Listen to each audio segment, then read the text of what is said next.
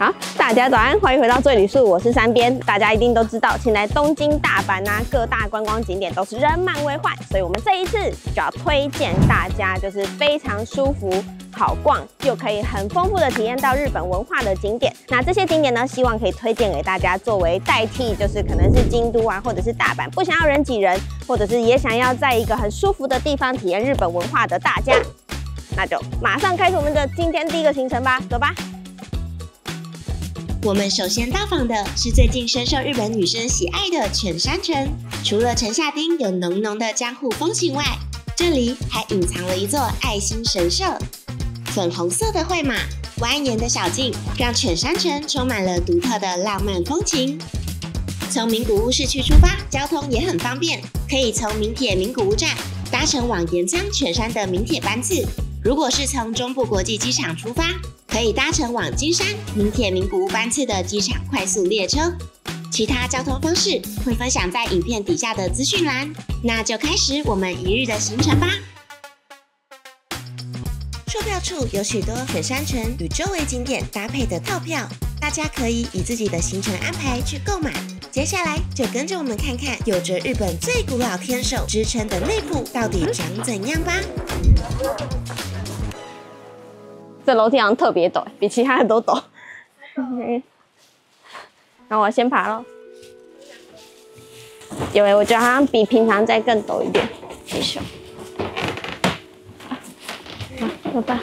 犬山城于十六世纪筑城至今，仍保留着当时的样貌。据信，它的天守是日本最古老的建筑样式，并被列为五大国宝城池之一。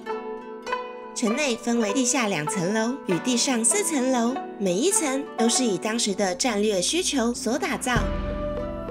当时的建筑工法与留下的历史文物历历在目。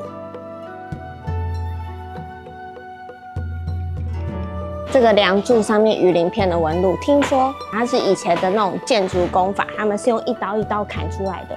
然后最后啊，因为大家可能日常都会一直摸它，然后最后才变成光滑，像这样鱼鳞片的感觉。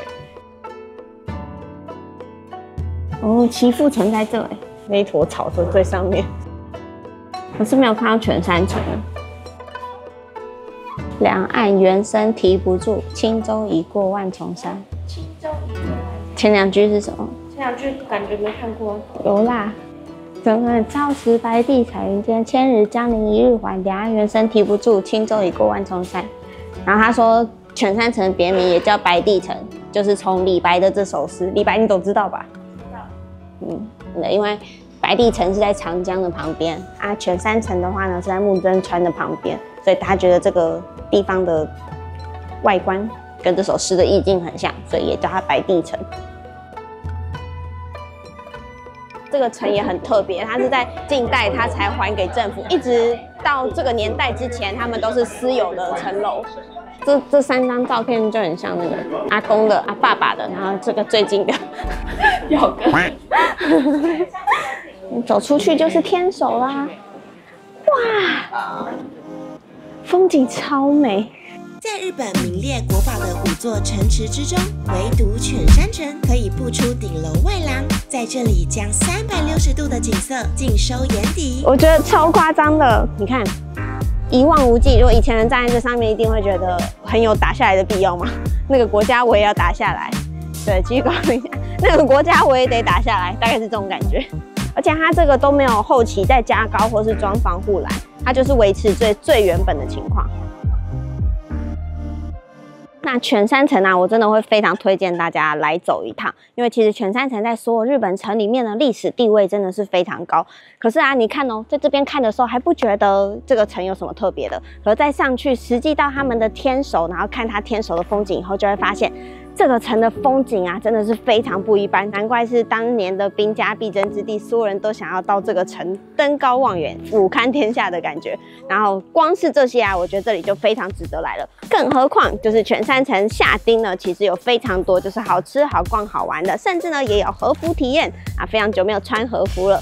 但是啊，在去这些之前呢，我这次特别来啊，就是会想要收藏就是犬山城的玉成印，因为其实犬山城啊之前是没有让大家可以买它的玉成印的，但是因为大家要求非常热烈，所以它的玉成印呢是在二零一九年以后才可以买得到哦。如果来到犬山城不知道买什么纪念品，也可以参考这个东西，我们去实际带大家看看啊。我自己是想要收藏起来，好，走吧。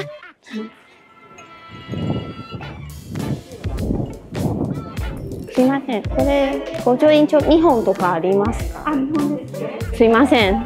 哎，啊，嗨，就长这样。它里面会有就是日本的五宝城，这样，然后后面就可以放那个啊，糟糕，收不起来，怎么办？糟了，去那桌子收，一个一个折。买都是可以。都是可以收集之后成印或是神社印都可以啊。 然后我会想要买，是因为他们的设计比较漂亮。ありがとうございますのでお使いください。はい它是有两个版本，一个叫做白帝城，一个叫犬山城。然后后面啊，这好像是德川家康的家文 啊，这好像是织田信长吧？啊，好像是丰臣秀吉还是这个忘记了。但反正它是几大家的家文合并在这里，非常漂亮。然后它纸上面是有金箔，而且是用美浓的和纸，推荐大家来买。然后记得它不是在全山城内购买，是全山城下面旁边的观光案内所才能买到哦。到了，就是要体验和服的地方。现在都有流行这种可爱蕾丝和服。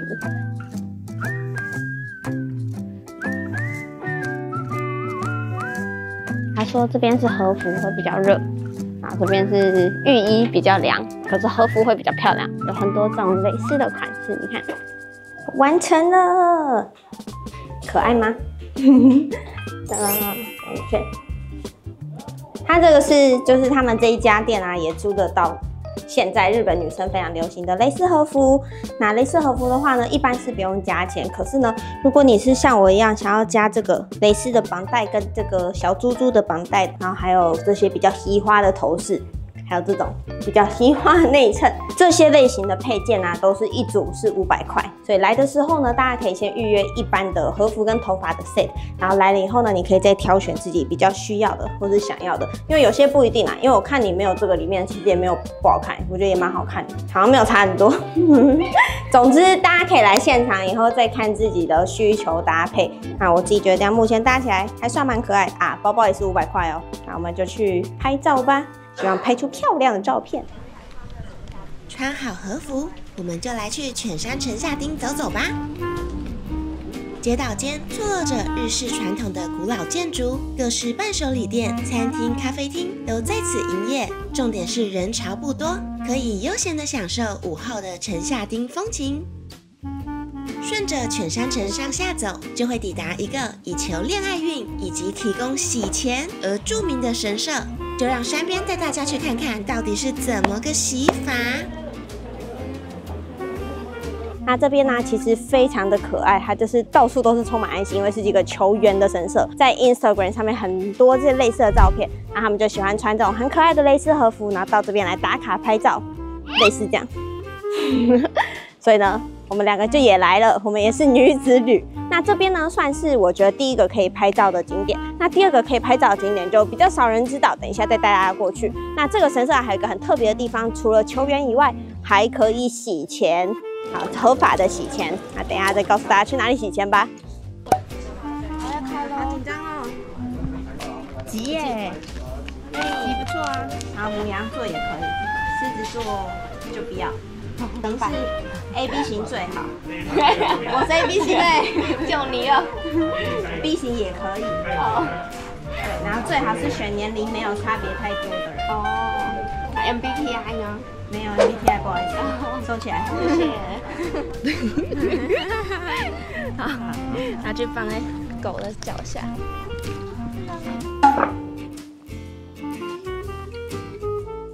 这个神社啊，不止可以求缘，就比起求缘呢，我更想做的是这个的的洗钱。对啊，就日本神社他们有的可以洗钱啊，就是你把钱拿去洗以后呢，钱就会加倍的再回到你身上。所以呢，要洗之前呢，要先去刚刚那个买签的地方，可以买一个洗钱篮，然后把钱放在里面，就可以到这个洗钱池里面去洗钱。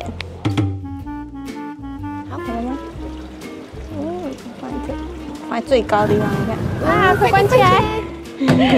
洗信用卡有用吗？等下卡债越洗越多。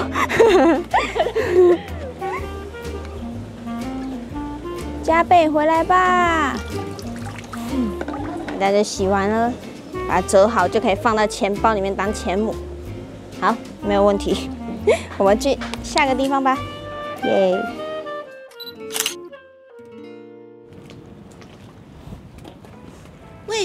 犬山城东面的日式庭院有乐园，除了有着非常漂亮的日式造景，院内也林立着日式复古茶屋。其中最有名的是被列为国宝级茶室的如安。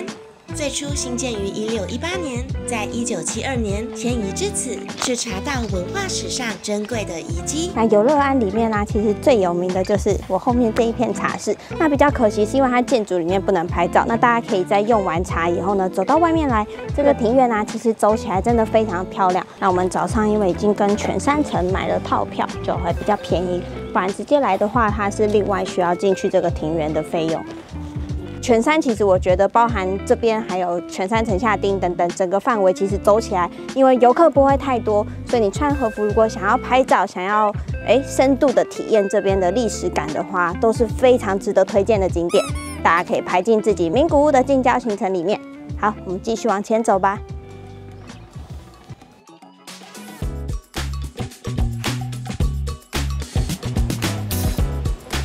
那我们的第二个景点就是岐阜城。那岐阜城呢，它其实跟其他日本城市比较不一样的，就是呢，它要先搭缆车才能上来，因为它的地势非常高。这个也让它在日本所有的城里面呢，算是非常特别的一个特色。我们现在的看到的风景已经非常不错了，不知道它天守阁的风景会怎么样？走吧。在前往岐阜城的这段路程，为大家补充一些资讯。前往金华山的缆车开放时间是早上九点至下午六点，最后一班上山的缆车是下午五点半。缆车成人往返票价是一千三百日币，小孩是六百五十元日币。要注意，如果有四公斤以上的行李，会额外收费哦。缆车到站后一出来，旁边就有一个四季都可以体验喂食松鼠的松鼠村。再往前一点，会有三百六十度展望台看景观餐厅在此营业，可以舒服的品尝特色料理，边欣赏岐阜市的美景。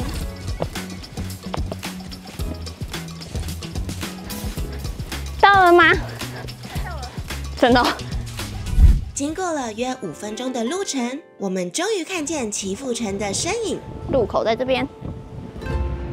岐阜城建于一二零一年，坐落在海拔三百二十公尺的地方。十五世纪，织田信长担任城主，并将岐阜城作为一统天下的本部，岐阜城也以此闻名。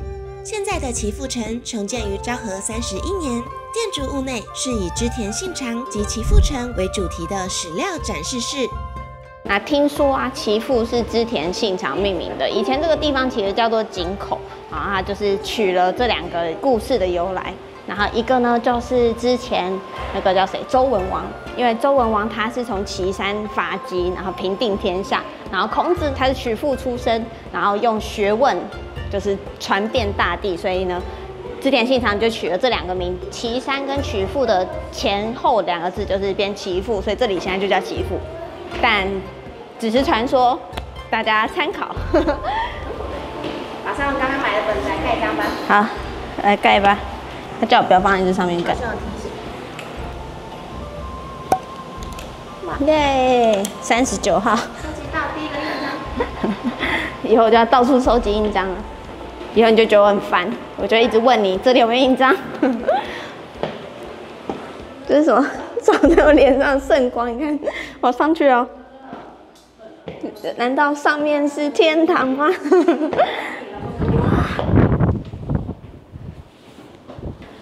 这风景超扯的，哇，非常的登高望远哎，而且它那个长梁川就在正前方。